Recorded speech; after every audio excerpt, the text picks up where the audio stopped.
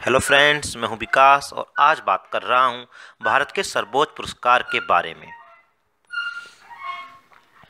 भारत रत्न के बारे में। Bharat Ratna Republic of India का हाईएस्ट सिविलियन अवार्ड है। इसकी शुरुआत आज़ाद भारत में उन्नीस सौ चौवन में हुई थी। शुरुआत में इसे केवल कला, साहित्य, विज्ञान और लोक सेवा तक सीमित किया गया था, परंतु दिसंबर 2011 में इसे एक्सपेंड किया गया। उत्कृष्ट मानवीय प्रयास किसी भी फ़ील्ड में।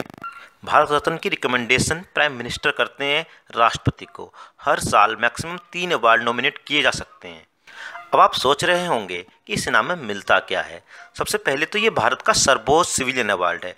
इसको पाने का जो गौरव है, उसे शब्दों में बयां तो किया ही नहीं जा सकता है।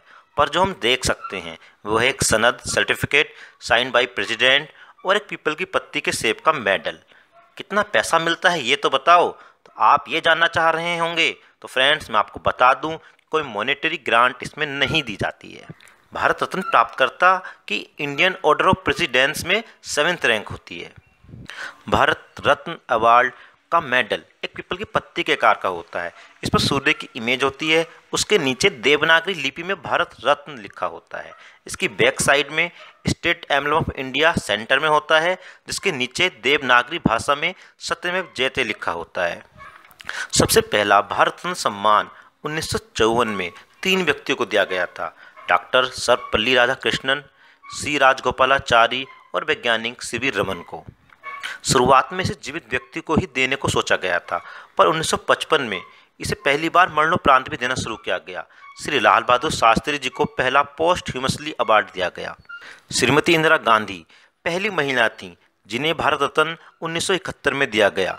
भारत रत्न अवार्ड दो नॉन इंडियन को भी दिया जा चुका है। जी हाँ फ्रेंड्स ये एक पाकिस्तान से और दूसरे साउथ अफ्रीका से। सीमांत गांधी, जिनके ना, जिन्हें सीमांत गांधी के नाम से जाना जाता है, खान अब्दुल गफ्फार खान को। आज़ादी के वक्त ये पाकिस्तान चले गए थे। 1990 में श्री सीमांत गांधी खान अब्दुल गफ्फार खान को और साउथ अफ्रीका के प्रेसिडेंट नेशनल मंडेला को भी भारत के सर्वोच्च सम्मान से नवाजा गया। 1990 में ही डॉक्टर भीमराव अंबेडकर को भी भारत रत्न दिया गया। अब मैं आपको बता दूँ एक ऐसी शख्सियत के बारे में, जो एक कैथोलिक नन थी। बाद में भारत की नागरिक हो गई और भारत के लोगों की अपार सेवा के लिए इन्हें 1980 में इस सर्वोच्च पुरस्कार को दिया गया।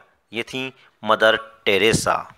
और अब जानते हैं उस सबसे युवा व्यक्ति जिसे भारत रत्न मिला है। वो हैं सचिन तेंदुलकर, जिन्हें 2014 में भारत रत्न मिला 40 साल की उम्र में।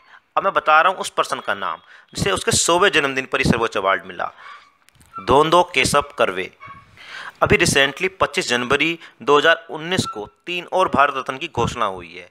ये हैं सोशल एक्टिविस्ट नानाजी देशमुख, मरणोपरांत singer music director Bhupen Hazarika, मरणोपरांत और भारत के पूर्व राष्ट्रपति श्री पूर्णम श्री प्रणब मुखर्जी जी। इन्हें मिलाकर अब तक 48 व्यक्ति को भारत रत्न सम्मान मिल चुका है। 1977 में जब जनता सरकार आई तो इसे 1977 से उन्नीस सौ उनासी तक रोका भी गया। पर 1980 में फिर से कांग्रेस सरकार आई, इंदिरा गांधी जी के नेतृत्व में, और इसे फिर शुरू किया गया। उन्नीस बानवे में इस पर रोक लगाई गई, जब कई पीआईएल पब्लिक इंटरेस्ट लिटिगल्स ने इसको चुनौती दी थी। पर उन्नीस सौ में इसे फिर से शुरू किया गया। इसके साथ कई कंट्रोवर्सीज भी जुड़ी हुई हैं। जैसे उन्नीस सौ बानवे में भारत सरकार ने सुभाष चंद्र बोस को मरणोपरांत भारत रत्न देने की घोषणा की। उनकी मृत्यु एक रहस्य है, ऐसे में इसे स्वीकार नहीं किया गया और उन्नीस सौ सत्तानवे में सुप्रीम कोर्ट ने इसे कैंसिल कर दिया। भारतीय संविधान की आर्टिकल 18 एक के वास्ता देकर, जिसमें स्वतंत्र भारत में किसी भी टाइटल देने को मना किया गया है। कई पी आई और भारत रत्न और पद्म पुरस्कार को रोकने के या इन पर आपत्ति जताई गई। पर सुप्रीम कोर्ट ने खारिज किया कि आर्टिकल 18 एक के अंदर आने वाले टाइटल नहीं है। ऐसी कंट्रोवर्सी सामने आई जब सचिन तेंदुलकर और सी एन आर राव को 2014 में भारत रत्न दिया गया, तब भी काफ़ी हल्ला मचाया गया। क्यों मेजर ध्यानचंद को भारत रत्न न देकर हॉकी की उपेक्षा की गई है? और वैज्ञानिक राव को देने से पहले विक्रम साराभाई, होमी जहांगीर भाभा को क्यों नहीं भारत रत्न दिया गया? जबकि राव पर तो प्लेगरिज्म का भी आरोप लगाए गए। कभी कभी सरकारों पर यह भी आरोप लगाए गए कि अपने वोट बैंक को प्रभावित करने के लिए भी भारत रत्न पुरस्कार का यूज़ किया गया है। जैसे 2015 में अटल बिहारी वाजपेयी व मदन मोहन मालवीय को भारत रत्न देने पर 1990 में डॉक्टर भीमराव अंबेडकर को भारत रत्न देने पर दलित को अपीजमेंट करने की राजनीति आदि आदि। फ्रेंड्स भारत रत्न के बाद दूसरा बड़ा पुरस्कार है पद्म पुरस्कार। पद्म विभूषण, पद्म भूषण एवं पद्मश्री इनको क्रम में याद रखने में कंफ्यूज हो जाते हो, अगर आप लोग तो बता दूँ, जिसमें सबसे ज़्यादा अक्षर आते हैं, वो है सबसे बड़ा पद्म विभूषण फिर उससे कम अक्षर वाला पद्म भूषण और उसके बाद सबसे कम अक्षर वाला पद्मश्री। है ना आसान तरीका? तो पद्म पुरस्कार की बात फ्रेंड डिटेल में करेंगे किसी और वीडियो में। आज हमने बात की भारत रत्न के बारे में। तो फ्रेंड्स, आप मेरे साथ ये साझा करें, क्या भारत रत्न अवार्ड पर जो ये राजनीति की बात हुई है, ये सच है या की जानी चाहिए ऐसी राजनीति? आपको इसको लेकर क्या मत है? मेरे कमेंट बॉक्स में लिखकर इस पर एक मीनिंगफुल चर्चा को आगे बढ़ाइए। फ्रेंड इस वीडियो से ज़रूर आपको कुछ नया सीखने को मिला होगा। तो इस वीडियो को शेयर कीजिए, चैनल कीजिए सब्सक्राइब नोटिफिकेशन बेल को ऑन और बनिए हिस्सा एक लर्निंग कम्युनिटी का, चैनल को सब्सक्राइब करके। जय हिंद, जय भारत।